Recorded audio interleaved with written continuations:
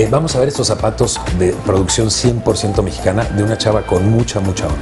Vamos a verlo. Para esta temporada, otoño-invierno, les presentamos una marca de zapatos 100% mexicana. Veámosla. Les presentamos la marca mexicana Lobo, que vino a revolucionar el mundo del calzado con modelos originales y de buena calidad.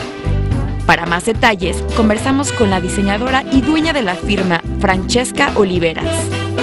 Para comenzar, me gustaría que me platicaras cómo comenzó este proyecto. Ok, em, Lobo empieza como con cumplir dos pasiones, ¿no? Que para mí una eran los animales y otra eran los zapatos. Lobo está apoyando principalmente una fundación que se llama Lince, que es este para el lobo mexicano que está en peligro de extinción. ¿Cómo funciona la parte de los pro- del producto artesanal? ¿Trabajas con diferentes comunidades? Eh, ¿De qué lugares de la República Mexicana? ¿Cómo funciona? Nosotros solo trabajamos con un taller de zapateros aquí en el DF. Este, este taller de zapateros es como de 12 personas, ¿no? Sí. Solo usamos piel y cuero. Todo es piel y cuero, no usamos nada de sintéticos, este, ¿no? Hacemos cosas, por ejemplo, tenemos punteras metálicas, ¿no? Y esas las trabajamos con joyeros que nos las hacen a nuestras hormas. Este, todo, todo el producto que usamos, toda la piel, todos los herrajes, suelas, todo es producto nacional. ¿En qué se caracteriza Lobo? ¿Cuál es el característico de la marca? Hijo, yo creo que es lo único, ¿no? Este, digo, aparte de que solo, so- solo hacemos 12 piezas de cada uno, son diseños que solo son de lobo, ¿no? La piel realmente es difícil encontrarla, eh, es lo único, ¿no? Este, y que estamos trayendo, como quitando el cliché de, de que México no tiene diseño, ¿no? Sí, claro que se hace diseño y sí se propone y sí se hace, ¿no? Y con calidad. Para salir con los amigos, eh, unas, unas copitas aquí en Mazarik, ¿qué modelo nos, nos recomiendas? Bueno, yo creo que no, nuestro modelo top, el, no, esto fue un, capri- un capricho, ¿no? Este es el Clark Gable, lo tenemos en cuatro diferentes colores, este, la puntera es de latón, ¿no? Eh, chapeada en oro y plata, ¿no? Estas son unas Susie Hendrix, este, las tenemos en dos colores, son súper cómodas, súper, las puedes combinar con todo. No hay pretextos. Visiten la tienda Lobo ubicada en Virgilio 5 Polanco. Informó Silvano Obregón. Perdón que nos riamos, pero ya me están molestando que si también traigo el chalequito de. Es que trae todo el de No, pues bueno. Son, son mis amigas, toda la familia Oliveras, y pues quise quedar bien. No, no es cierto. No, la verdad es que creo que tanto ella como sus hermanas son, son chavas muy, muy apasionadas. Han hecho grandes cosas por lo que es. Eh, yo te puedo decir que al día de hoy Polanquito existe, Polanquito como tal existe gracias al restaurante que puso su familia, que es el famoso Brasil, que es el restaurante de la esquina, y ella pone aquí al lado, su su, su boutique.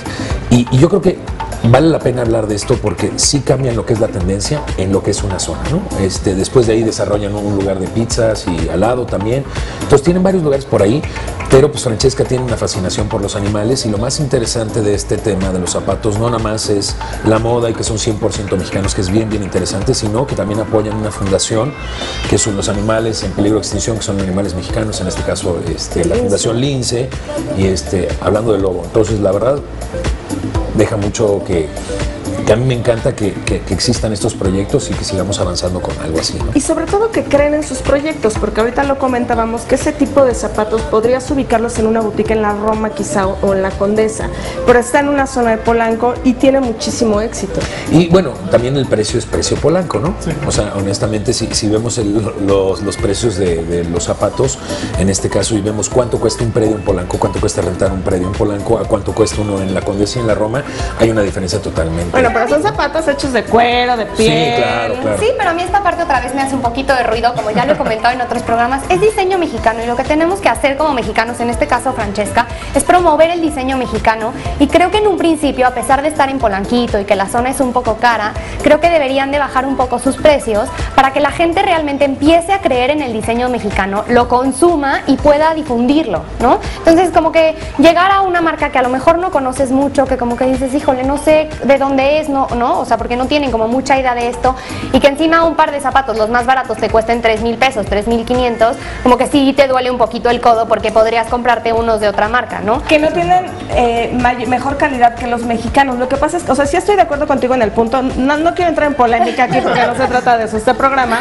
pero recuerden que ellos no tienen las producciones tan grandes que tienen firmas italianas, por ejemplo, que venden 5 mil para el día, ¿no? Sí, no, Pares no, de estoy zapatos, totalmente perdón. de acuerdo. O sea, venden a lo mejor 10 pares de zapatos al mes y tienen que costear todo lo que eso implica. Sí, de hecho solamente están fabricando 40 pares de cada modelo y se realizan en tres colores distintos. Entonces es como complicado también eh, crear como, dar como un precio un poco más bajo, pero bueno, pues sería también como de checar que ellos, el costo Pero beneficio. eso aquí hay otro tema, ¿no? Aquí hay un tema bien interesante que es muchos de los zapatos más interesantes del mundo se fabrican en México y en particular en León, ¿no? En León. Sobre todo yo puedo decir que casi el 80% de las suelas de cuero se fabrican en México, ¿no?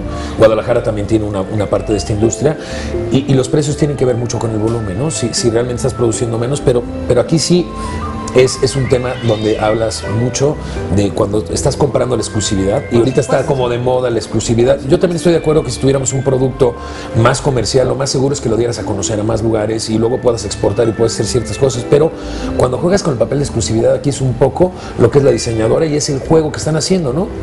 Perdón, A final de cuentas. la exclusividad no es democrática si no, no fuera exclusividad.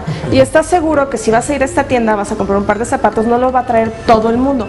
Es para una personalidad muy específica. Entonces, bueno, a mí sí me gustan, estoy de acuerdo con el punto. Te invitamos a seguir cuestionando la información con los siguientes videos.